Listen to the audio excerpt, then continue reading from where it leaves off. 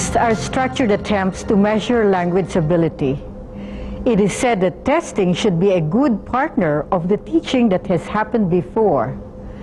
This ensures a good backwards effect of testing on teaching and learning. What is backwards effect and how is it attained? Backwards effect is the effect of testing on teaching and learning. A basic principle to follow to achieve beneficial backward effect is to see that the test content and testing techniques are not at variance with the course objectives. In other words, teaching and testing are in accord with each other. Let's now come to a discussion of different kinds of language tests that can be made use of to test writing ability. First, if we are to follow the assumption that the best way to test writing ability is to have people write, necessarily then we are talking about direct testing. Direct testing refers to the use, for purposes of testing, of realistic life situations where the language ability is demonstrated. For example, in real life situations, people write letters. So to assess one's writing ability, he can be asked to write a letter. Direct tests in general are easier to construct but difficult for examiners to perform on. They provide a better and more extensive index of one's writing ability. How is this so?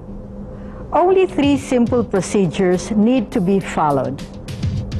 First, specify writing tasks which are representative of the expected tasks.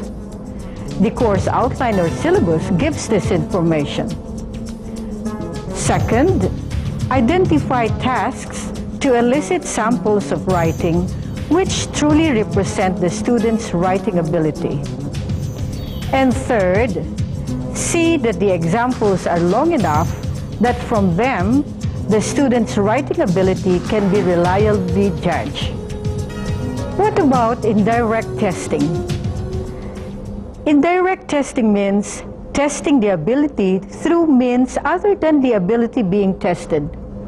For example, some items test grammar knowledge indirectly through objective items. Why is indirect testing still resorted to even when it is known to be inferior to direct testing?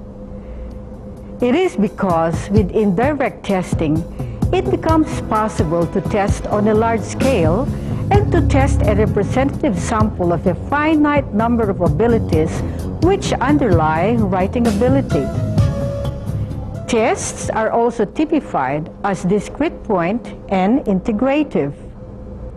A discrete point test focuses on only one element at a time.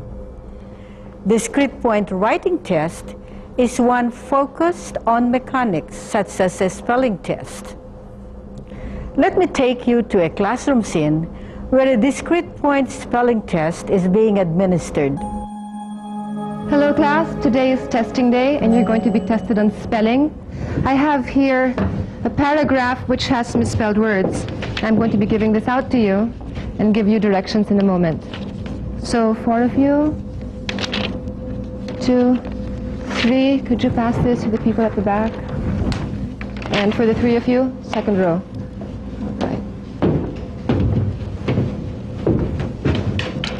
So read with your eyes as I give you the directions. Okay? Read the paragraph and draw a line across each misspelled word.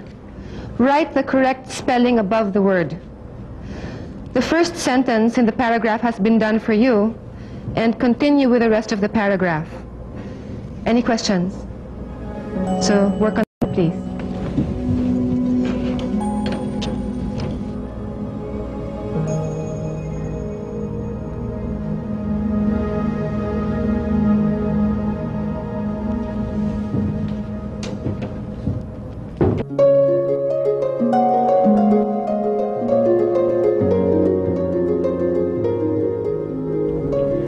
This is a discrete point test since only one element is being tested, spelling. Notice that the test can be scored objectively since there is only one correct answer for its item or element. A writing tasks which retains the objectivity and coverage of the discrete point approach, but at the same time enhancing its validity, is the editing tasks. In these tasks, the testee is given a text containing a number of errors of grammar, spelling, and punctuation. The testee then makes the necessary corrections on the text. Let us watch a student working on an editing tasks.